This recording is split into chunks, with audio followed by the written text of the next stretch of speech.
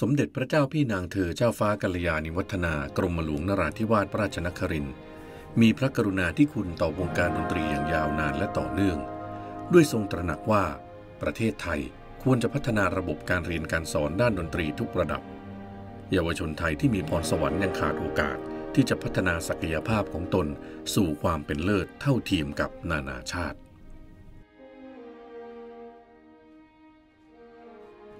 ในปี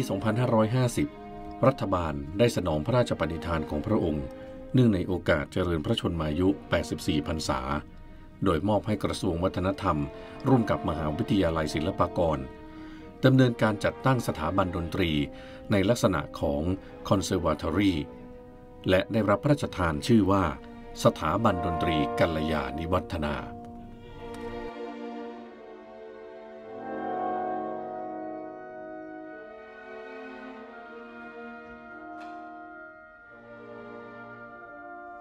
สมเด็จพระเทพรัตนราชสุดาสยามบรมราชกุมารี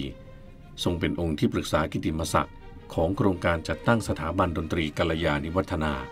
ในทอดพระเนตรโรงงานสุราบางยี่ขันเดิมเชิงสะพานพระราม 8 ที่ฝั่งธนบุรี เมื่อวันที่ 17 พฤศจิกายน พุทธศักราช 2550 ทรงเห็นว่าเหมาะสมที่จะเป็นที่ตั้งของสถาบันดนตรีกัลยาณิวัฒนา มูลนิธิชัยพัฒนา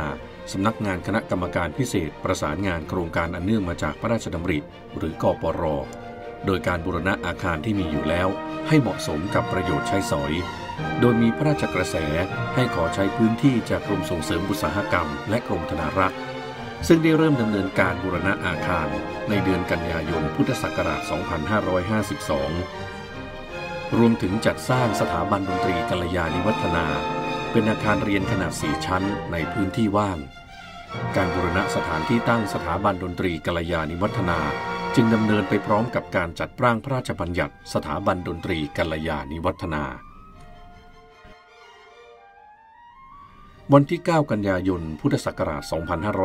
2554 สมเด็จพระเทพรัตนราชสุดาสยามบรมราชกุมารีได้เสด็จพระราชดำเนินทรงเปิดอาคารอำนวยการของสถาบันดนตรีกัลยาณิวัฒนา ร้อมกับอาคารมูลนิธิชัยพัฒนาและสำนักงานกปร และได้ทอดพระเนตรอาคารอนุรักษ์ของกรมศิลปากรที่ตั้งอยู่ในบริเวณเดียวกัน จึงได้มีพระราชดำรัสกับอธิบดีกรมศิลปากร ซึ่งไปเฝ้าทูลละอองพระบาทรับเสด็จให้กรมศิลปากรบูรณะอาคารอนุรักษ์หลังนั้น เพื่อให้สถาบันดนตรีกัลยาณิวัฒนาใช้ประโยชน์สำหรับการเรียนการสอนต่อไป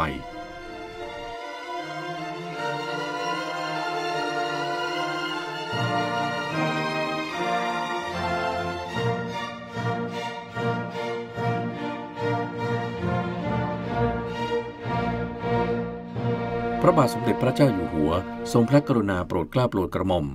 ลงพระประมาพิไทยในพระราชบัญญัติสถาบันดนตรีกัลยาณิวัฒนา ในวันที่ 25 พฤษภาคม พุทธศักราช 2555 สถาบันดนตรีกัลยาณิวัฒนา จึงมีสถานภาพเป็นสถาบันอุดมศึกษาเฉพาะทาง เพื่อดำเนินการตามมาตรา 6 แห่งพระราชบัญญัติ ให้การศึกษาส่งเสริมและพัฒนาวิชาชีพชั้นสูง ในทางดนตรีและศาสตร์อื่น ๆ ที่เกี่ยวข้อง